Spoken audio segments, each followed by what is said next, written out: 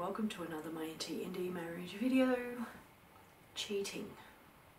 It's been on my mind a lot lately, not in the way that you think. Just in regards to how it plays out in these relationships. So, when I was younger, late teens, early 20s, I could not understand for the life of me why anybody cheated. I used to think, mate, if you don't like your relationship, what are you doing in it? Just get out. It used to also feel strange to me that when cheaters were sprung, they'd be all like, please take me back, I'm sorry. um, really? You didn't like your relationship enough to stay faithful, but suddenly you want them to stay? Like, what? Or on the flip side, when cheaters cheat and then their partners cheat, and then the cheater is all incredulous and how dare you cheat on me when they were cheating? I just, I never understood the world of cheating. I used to kind of watch it play out in movies and things, mostly because it wasn't necessarily occurring in my real life and I just couldn't understand it. It just made no sense to me. I mean, I saw it play out in like, you know, famous people. Like Beyonce, whose partner cheated on her and she stayed and stuff like that. So you kind of see it playing out and wonder, you know, the whys and wheres, fors behind it. And then I get in this relationship and, hmm, I don't know how soon into the relationship, but very, very soon into the relationship, I started wishing that I would meet someone who could take me away from the BS. And granted, I could have left myself. I'm not saying I needed to be saved per se, but I just had this sort of mindset of wanting to meet somebody better, nicer. And so I would fantasize, I would drive to work. It used to take me about an hour to get to work. And I would drive to work and have these random daydreams. No, no laughing. uh, that I was like at the supermarket, I'm carrying my bags of groceries out, and I drop the oranges and they're rolling everywhere and some handsome guy comes up to me and hands me an orange and says, is this yours? And then helps me pick the rest of them up. And it's love at first sight. And I'm swept away and whoo, I can go off and live with this dude. Very early on in the relationship, I started fantasizing about things like that because no sooner had I moved in with him that I was longing for certain things my ex before him would lie in bed and talk with me for hours. He would casually, I don't know, stroke my arm, rub my shoulders, touch me in certain ways like brush my hair, rub my feet, that weren't sexual. He just did them because we would have water fights, we would play games, we would talk, we would go for walks, we would do all of these really sweet, fun, intimate things that were instantly absent when I moved in with my husband who's on the spectrum. Back then he was just my boyfriend. And I didn't understand why they were missing. I just thought that he wasn't trying or that I was being too irritating because that's what he was telling me as I was being too irritating. So I'm trying to tone down my personality. I'm trying to do all these things to make that happen. And not understanding it. And no matter what I did, it didn't exist. It wasn't there. And it's a strange thing about a human condition, especially somebody who's neurotypical, you just miss that stuff. You long for it, you crave it. You know that it's meant to happen and it isn't. And there's this obvious void. Whereas people on the spectrum, they don't seem to even want it, let alone know that it's missing or believe the NT when the NT says it's missing. So, right from the get go, I knew that was gone and I didn't like it and I felt sad and depressed. But on the flip side, the boyfriend who was all that, he was a nomad, he was a traveller, hence why we broke up because he left the country. He was just travelling. He didn't have a job. He had part time jobs whenever he went and stayed in certain countries because he had a working visa. But he didn't have a car, he didn't have a house, didn't have a career yet. We were only young. but he didn't have any of those sort of stabilities. And that's why that relationship ended, but also why I liked my neurotypical boyfriend, sorry, my neurodiverse boyfriend. When I met him, he had all that the house and the career and the stability. And they were the things that attracted me to him. And ethically, he's a kind person. He's not, um, you know, like racist or bigoted and things like that. So I liked that about him. So he had things going for him that drew me to him. But as for the affection and attention side of things, that was totally absent. So I found myself in this situation where where I really liked what I had with him on certain levels. He's a very handy man, a very practical man. He cooked, he cleaned, he looked after himself. He wasn't rude to people, he was good to his family and decent to his friends slash acquaintances. So he wasn't this awful person, but there was this void. And I found myself wanting to fill that void. And for the first time in my life, I found myself wanting him and a lover on the side. And all of a sudden, I'm in this frame of mind of, oh, that's why people cheat. There's something missing that they're wanting that they're not getting from their partners. And before that, in my early days, when I thought of cheating, I used to think, well, just tell your partner what you want. Ask and you shall receive. yeah, it was never that simple with my husband who was on the spectrum. It didn't matter how you asked, it didn't matter how you talked about it, it didn't matter what you showed or what you did, you were not getting it. You could talk in 50 different languages and you were not getting it.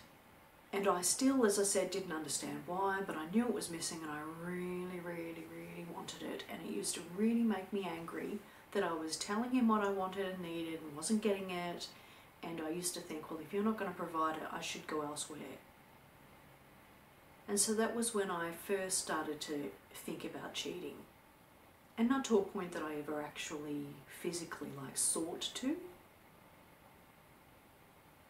Although I will admit that, and this is kind of so desperate on my part, just about every man who entered my life was like, are you the one? Are you the one? Are you the one that's going to be decent that I can, you know, play the field with because I'm not getting this from him, so maybe I get it from you.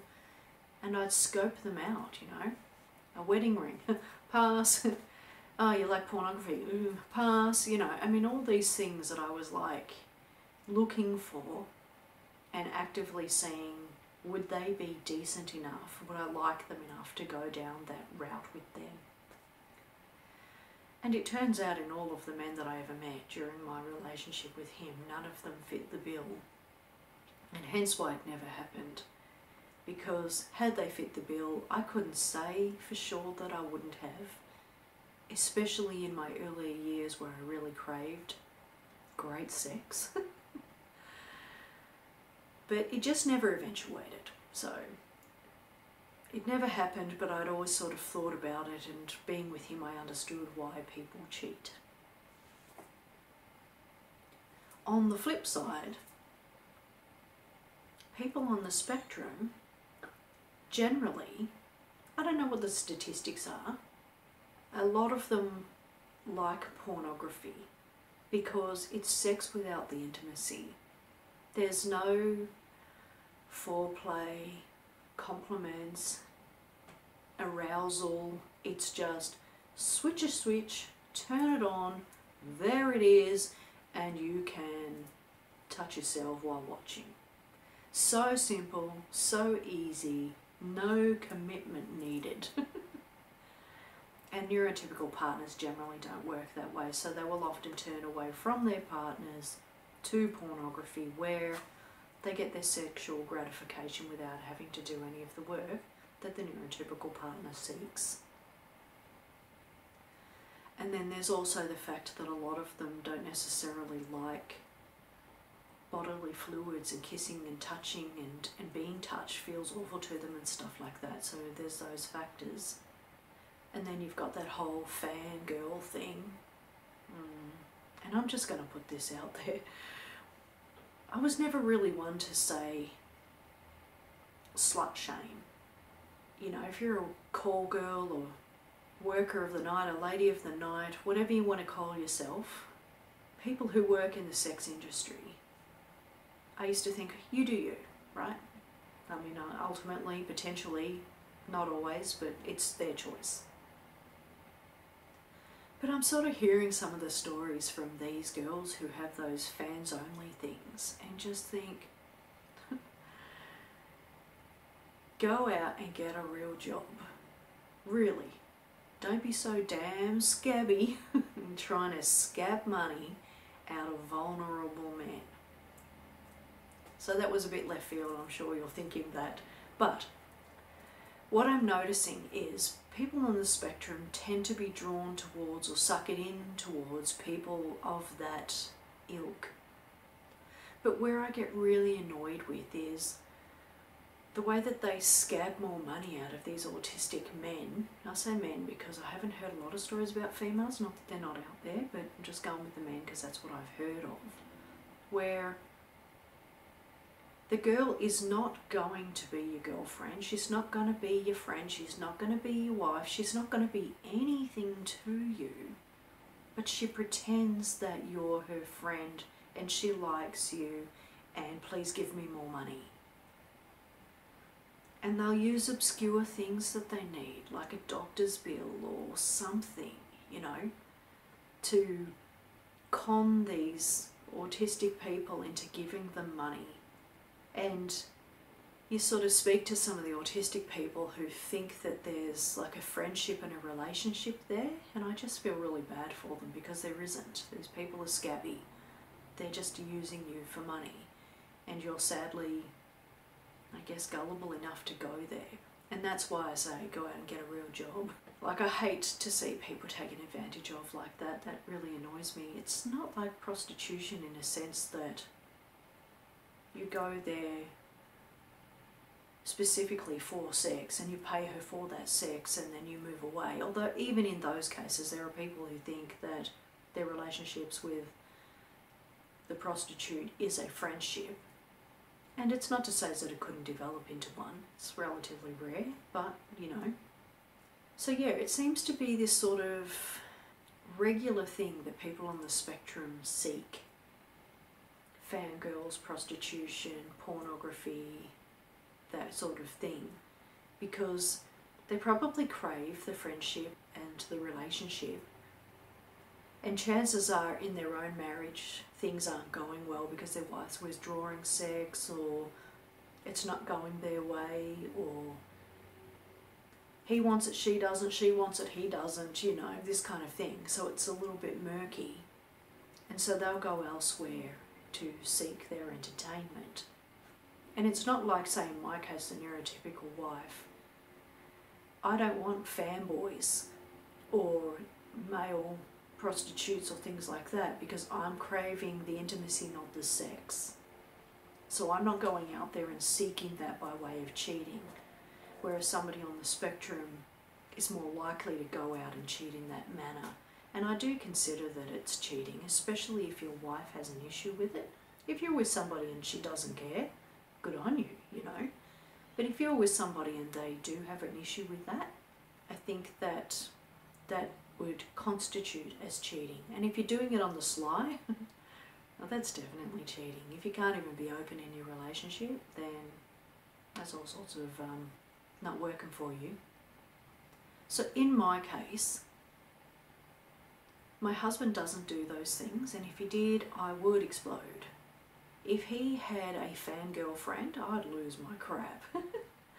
Why are you using our hard earned family money to pay for some girl to show you her cleavage when I have some? I just show you mine for free. it would really annoy me that he was using our money for that, or if he was seeing escorts at a thousand dollars a night or something, you know, like there are way better uses for your money than that. Um, and I think spending money in a marriage is meant to be a joint thing. You don't get to just do it whatever you want. Like I don't get to just go out to a male escort and spend a thousand dollars a night without telling my husband. That just feels a bit sneaky. and I mean, look, if we both had a joint, like, agreement, he'll see gigolos, or sorry, prostitutes, and I'll see gigolos, you know, I guess that's kind of different. We have that agreement.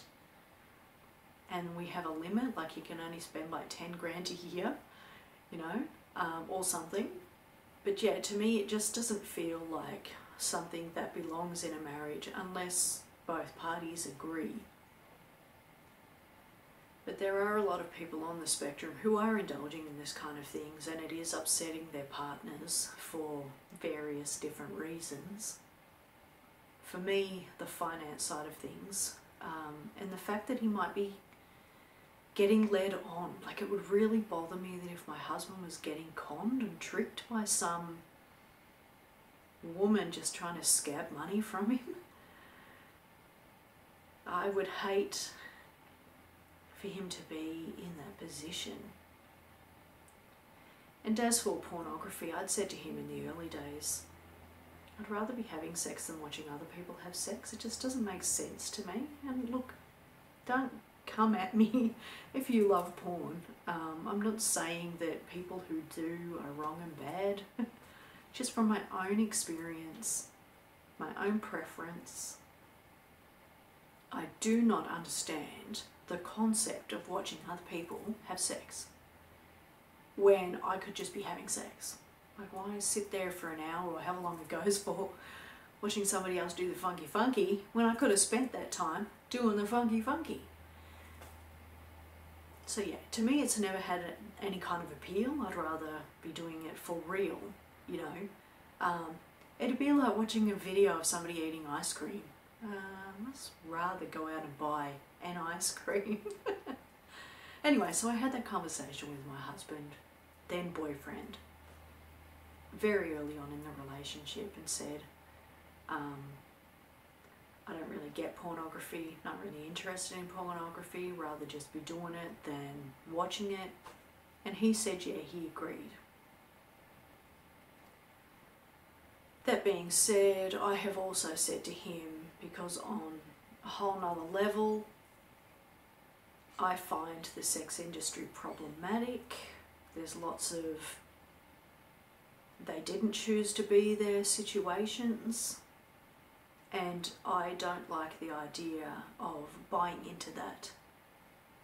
Of saying going on a site where something illegal is happening animals, children, RAPE and we're watching that and somebody's making money from that um, you're making money and getting enjoyment and entertainment from another being's suffering. Yeah, not my cup of tea. So I had said to my husband right from the get go that I don't want to be going down that road of being in that kind of relationship with somebody when I'm quite opposed to that and he had agreed. So again, the relationship does has it, have its pros. I'm really thankful that he's not the kind of guy that would go against me and do that. And I mean, he knows, to be honest, that is 100% a deal breaker for me. If I found out that he was doing anything like that, we would be over. And again, just my preference. I'm not saying that if you love pornography and your husband loves pornography and everybody loves pornography that you can't do it. You don't, you know, don't have to follow my lead and you're not wrong and I'm not wrong. We just got a difference of opinion. I did work in or for a company that was anti-sex trafficking. They were trying to stop um, sex trafficking. And I was the data collection and that changes you. that changes you when you realize after doing this data collection how few choose to be there. And those that do are usually doing it because they need money for drugs and stuff, which is not a choice. If you're so poverty stricken that you'll do awful things for money, that's not a choice, that's. Eh. And there is really very small amount of percentage of people who actually do choose it, legitimately choose it. And that's surprising for a lot of people to learn. And in fact, most people who learn that don't believe it. because unless you were doing what I was doing, you would have no reason to believe it. You're watching it and you're thinking those people there want to be there. Or you're telling yourself they want to be there because it makes you feel better. Or you don't give a flying rat's bum that they're not choosing to be there because you're getting entertainment off it. Good on you.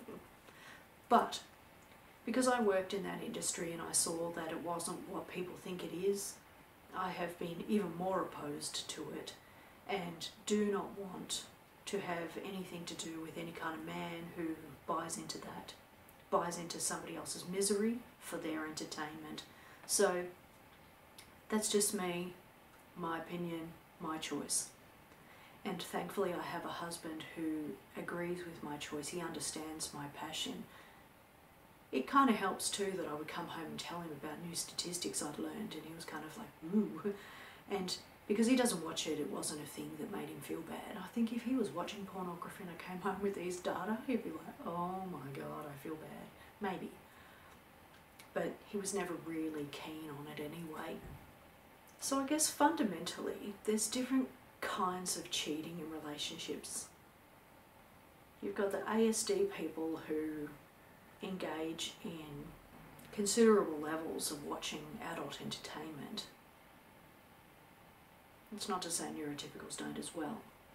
But in the case of the neurotypicals and neurodiverse that I've spoken to, a lot of their Aspie husbands are doing it without their wife's blessing. And that's where I think it's really murky marriage is meant to be a joint thing.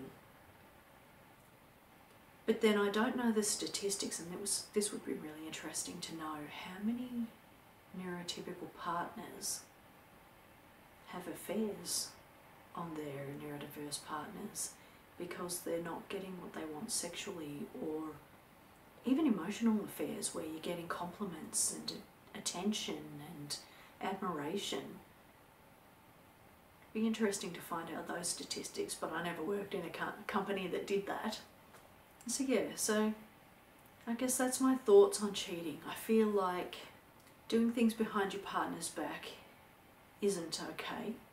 I guess for me, I understand why people might want to stray from their marriages. So you've got the neurotypicals who want a little bit extra than what they're getting. You want the neurodiverse who don't want that sort of intimacy, that ickiness side of the marriage. So I can see how they both kind of work. And in my case, my husband didn't do anything like that. I'd also said early on to him, if you cheat, I'll cheat. And I think that that's just kind of stopped him in his tracks because he doesn't want me to. maybe. Have never really asked him. I just said don't or I will. And then later on I was going, please do because I want to. Ha ha ha. And look, it just never happened. I never met the right guy. I never had the right circumstance. Had I? I might have, I don't know. I feel like I would have preferred to have said, look, I'm going to be seeing this other person outside of you to get something that I'm missing, and then that gives him a choice of staying or not. Not sure if I could have done it on the sly. It's not really who I am. but in any case, I guess the point of this video is now that I understand sort of the concept of neurodiverse relationships, I get the concept of all the different ways that people cheat and all the different reasons that they do. Hmm. Anyway, if you can relate, comment below. Bit of a sensitive, touchy subject. Maybe you don't want to comment because it's putting it out there. Anyway, either way, don't come at me with my anti-porn views. I know I'm relatively different in that regard. I know it rubs numerous people the wrong way because I have had conversations face to face with people who have attacked me all my views. Each to their own. Just putting it out, out, out there. anyway, thank you for taking the time to watch this video. I really do appreciate it.